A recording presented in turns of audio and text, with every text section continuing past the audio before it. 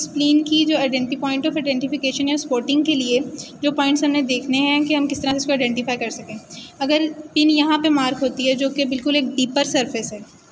जो deeper surface है, उसको बोलते हैं गैस्ट्रिक सरफेस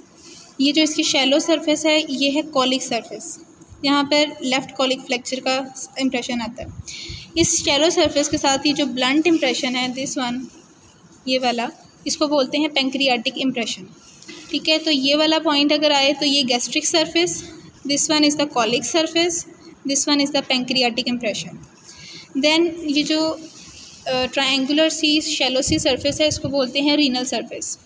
रीनल सरफेस के साथ जो लिगामेंट होगा, वो होगा लीनो रीनल लिगामेंट और गैस्ट्रिक सरफेस के साथ ये जो लिगामेंट रन करेगा, वो होगा गैस्ट्रोस्प्लिनिक लिगामेंट